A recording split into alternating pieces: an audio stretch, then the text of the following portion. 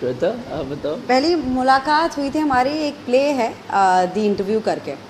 आकर्ष खुराना ने जो डायरेक्ट किया है और सिट कुमार ने लिखा है। तो हम लोग दो एक्टर्स को रिप्लेस कर रहे थे जो इनके पास डेट्स नहीं थी। तो दिल्ली में शो था और हम आए रिहर्सल पे मिले और फिर दिल्ली गए। तब तक तो अब क्या होता है कि पाँच। साल पहले पाँच साल पहले तो होता क्या है कि आप अ, हमारे पास ज़्यादा टाइम नहीं था रिहर्स करने के लिए। तो इसलिए जो भी टाइम मिल रहा था मैं करण पंडित जो कि प्रोटैगनिस्ट प्ले करते हैं प्ले में तो उनके साथ रिहर्स कर रही हूँ सब कुछ कर रही हूँ खाना हम लोग खा रहे थे साथ में देन फाइनली जब टेंशन जब ख़त्म हुआ जब प्ले ख़त्म हो गया। एंड देन uh, उसी के नेक्स्ट दिन हम सुबह बॉम्बे आ रहे थे और बॉम्बे आते ही आते समय चीता और मैं हमारी अ, जो सीट्स थी वो आजू बाजू थी। और प्लान ऑब्वियसली सबका ये था कि सब सो जाएँगे क्योंकि फाइव एम की फ़्लाइट थी सुबह की। और मैं तो हमेशा फ़्लाइट में सो जाती हूँ। आई डोंट इवन रिमेंबर कि वो पहली बात क्या थी पर हमारी बात होना स्टार्ट हुई एट फॉर सम रीजन फिर अगले दो घंटे तक हम सिर्फ़ बात ही चल रही थी। और इनफैक्ट आई रिमेंबर आकर्ष हमारी बगल वाली आयल सीट में बैठे हुए थे दूसरी मतलब।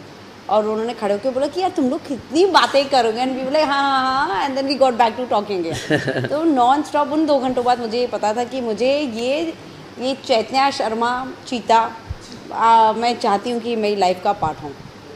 हाँ मतलब कैसे नहीं पता था। आ, पर ये पता था तो नहीं कि कि लाइफ का पार्ट तो चाहिए चाहिए। तो फिर बातें स्टार्ट हुई मैसेजेस पे मैसेंजर पे व्हाट्सएप पे मैसेंजर पे और फिर ड्राइव्स हुई। प्रपोज हमने मैंने किया था। दोनों बार लड़कों को करना हाँ, चाहिए। नहीं कर कोई भी सकता है लेकिन नहीं करना लड़कों को चाहिए क्योंकि आई थिंक एक परमिशन लेना चाहिए लड़की से हमेशा कि आपको मंजूर है मैं ठीक हूँ अपने को भी कॉन्फिडेंस मिल जाता है ना हाँ बोलने का कि चलो।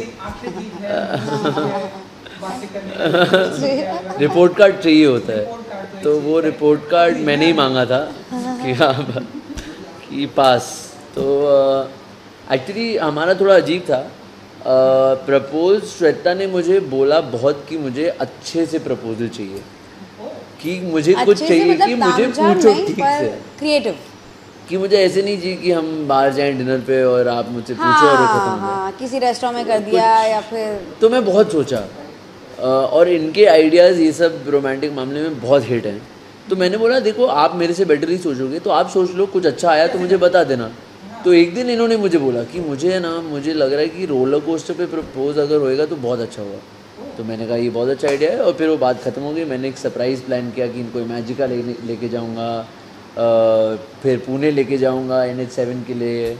वो सरप्राइज़ का बहुत जामा हो गया। पर हाँ मैंने प्रपोज इनको किया एक रोलर कोस्टर के ऊपर नीचे जाने से जस्ट पहले। और उनका जवाब ये था। ना हाँ था, ना हाँ- ना था। यही था बस। नहीं नहीं, नहीं, नहीं। इन्होंने बोला कि मैं इनको जानता नहीं था ये मुझे जानते नहीं थे। सीधे मार रहे नीचे से।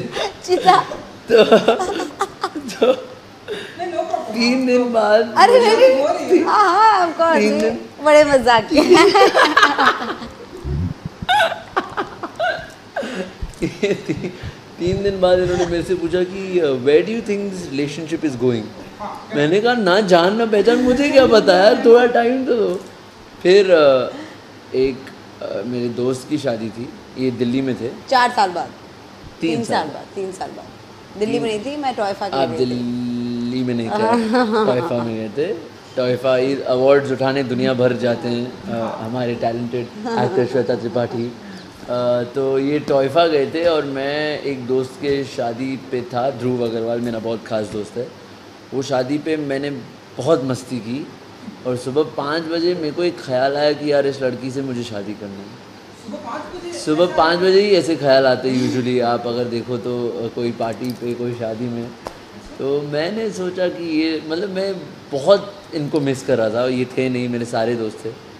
तो मैंने इनको फ़ोन किया इंटरनेशनल कॉल और मैंने कहा मैंने इनको कह दिया कि I want you to be with me for the rest of my life please और ये ऐसे ही हंस रहे थे। क्या रिप्लाई था आपका मैं बहुत खुश थी मैं तो बहुत एक्साइटेड मुझे लग रहा था कि अरे मैं बॉम्बे में क्यों नहीं हूँ जब ये हो रहा है?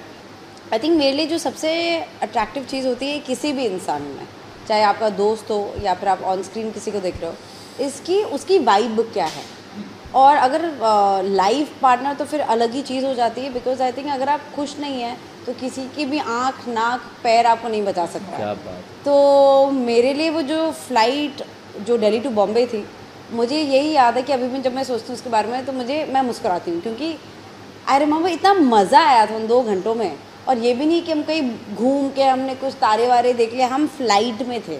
जहाँ पे हम कहीं एक स्टेप भी नहीं लिया था। दो लोग सीट में इंडिगो इंडिगो अच्छा हमारी Indian flight so I think वो सबसे इम्पोर्टेंट चीज़ होती है।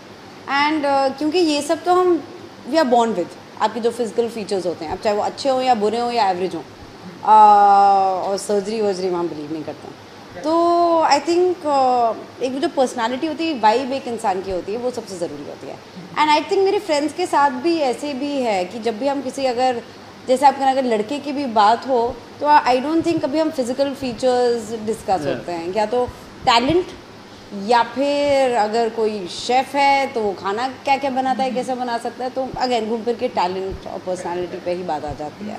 शादी के अलावा और क्या कुछ करने वाले हैं आप गोवा में? शादी के अलावा कुछ करने का आपकी हुई नहीं है ना। आपको पता चलेगा कि जब शादी होती है ना अलावा का स्कोप दिया ही नहीं जाता है। वो उसमें ही बहुत कुछ हो जाता है क्योंकि काफ़ी फ़ंक्शंस हैं रोज़ तीन चार फ़ंक्शंस हैं बहुत पार्टीज़ हैं। तो उसमें ही हम उलझे हुए रहेंगे और उसमें ही मज़े कर हम एक दिन और स्टे बैक कर रहे हैं जिससे कि शादी के बाद एक हाँ।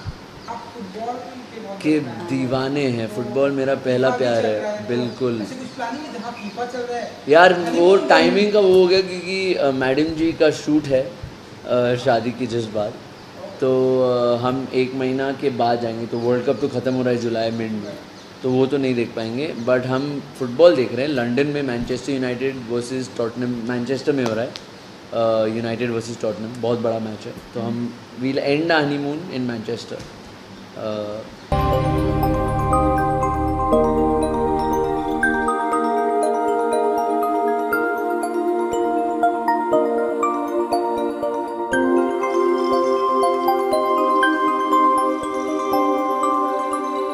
ఈ వీడియో గనుక మీకు నచ్చినట్లయితే లైక్ చేయండి.